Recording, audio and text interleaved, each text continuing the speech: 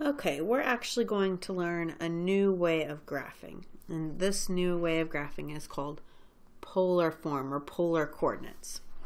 Now, the way that you've learned to graph before, um, you've been taught to graph everything as an x, which is how far you go over horizontally, and then a y, how far you go vertically. And we see these if we kind of drew graph paper. We'd have little squares, little rectangles. So your normal way of graphing are called rectangular coordinates. So those are your x and your y's. Now, we also have a new way that we can represent each point. So we have this point xy, this one right here, okay? And we're going to look at two, two pieces of information. The distance it is from the origin. So if we go from the origin up to that point, just draw a line. We call that r, how far it is. And then theta is the angle that it's taken to get there. Now, what we're going to do is draw a triangle. So if we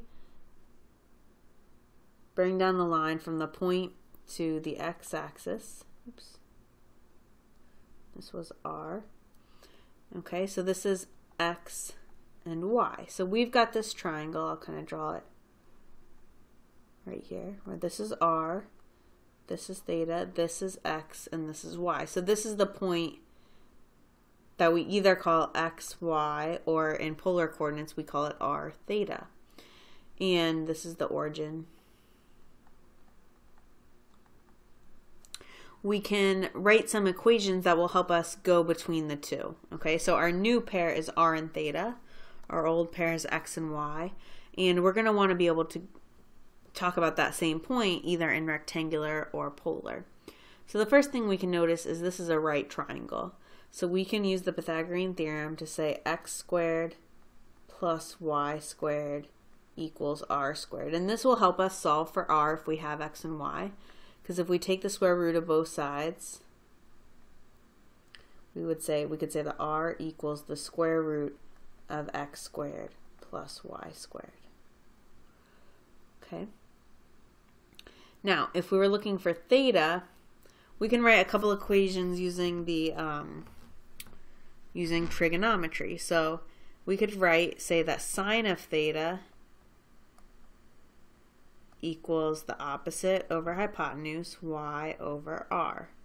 That cosine of theta equals x over r, and tangent of theta, opposite over adjacent, would be y over x.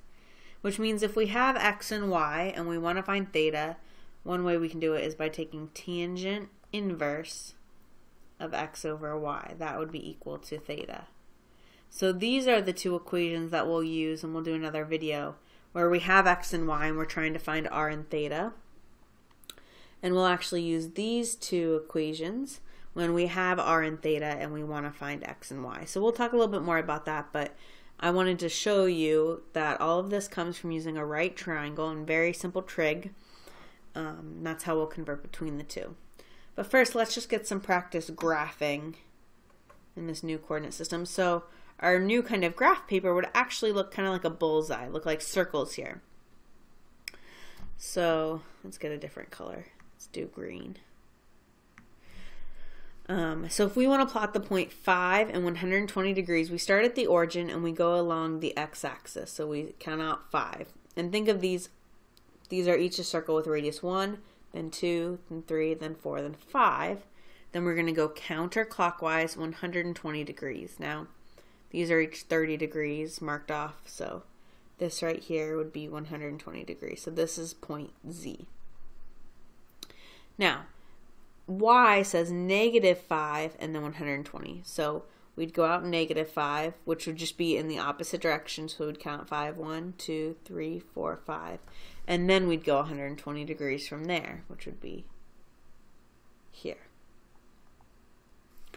Okay, x, we want to go out 3, and then a negative pi over 6 would just be a negative 30 degrees. W, we're going out 2, but then we're rotating, sorry, going out 2, and then we're rotating 0 degrees, so it would be there along the x-axis. And then V says we're going out 0 and we're rotating pi over 4, so that would actually be the origin. And this kind of brings up a good point. That rotating pi over 4, if we're at 0, really doesn't do anything. So the origin can actually be written in polar coordinates as 0 and then any angle. And kind of the weird thing about polar coordinates that doesn't happen in um, rectangular coordinates is you have more than one way to write the same point. So let's just look at z here, 5, 120. Well, we could also write it as 5 and then negative, um, negative 30, 60, 90. Well, this would be negative 180, negative 210. So we could write it as 5 and negative 240 degrees right? Or we could write it out. We could go negative 5 and we could go negative 60 degrees. Or we could even say negative 5 and then if we went 300 degrees, we would end up there. So there's lots of different ways to write the same point. Um, and any, you know, if we went out 5 and then any angle that was coterminal to 120 would also land in that spot. So that's one thing to keep in mind with polar coordinates is um, this point would always either have an r of 5 or negative 5. And then if you either went negative 60 degrees in any angle coterminal to that, or 300 in any coterminal to that, um, or you could go out positive 5 and then do any angle coterminal to 120.